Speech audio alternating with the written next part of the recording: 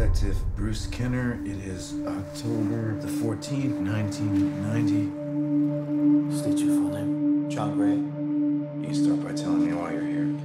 because I did it.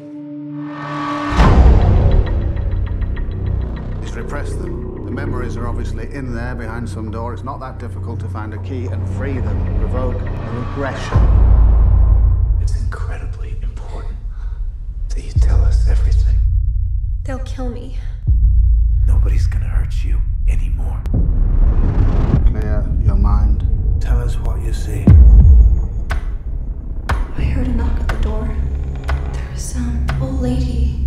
They were headed for my dad's workshop. I could hear chanting. They were wearing robes. It was a black mask.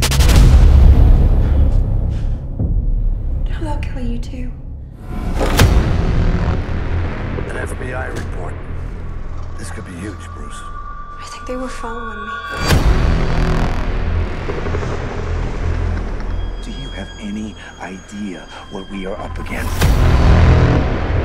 It just gets a feeling with this case that it's a part of something bigger. Hello. Who is this?